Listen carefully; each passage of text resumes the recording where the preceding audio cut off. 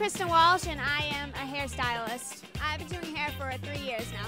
I got into hairstyling from watching family friends over the years in their salon working with clients, and I've always just loved the atmosphere and the art of hair and just making someone happy at the end of your services and they leave with a new style. I am very inspired by old Hollywood, the 60s, and just how hairstyling has evolved over the years. The process of working with a model is seeing what looks good on them, what color complements their skin tone, their face shape, their style day to day so they can wear the style out even after the shoot and still enjoy it.